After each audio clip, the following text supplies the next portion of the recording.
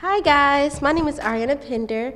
I am a senior broadcasting communications major here at South Carolina State University. Um, my dreams and ambitions is to become a filmmaker and screenwriter.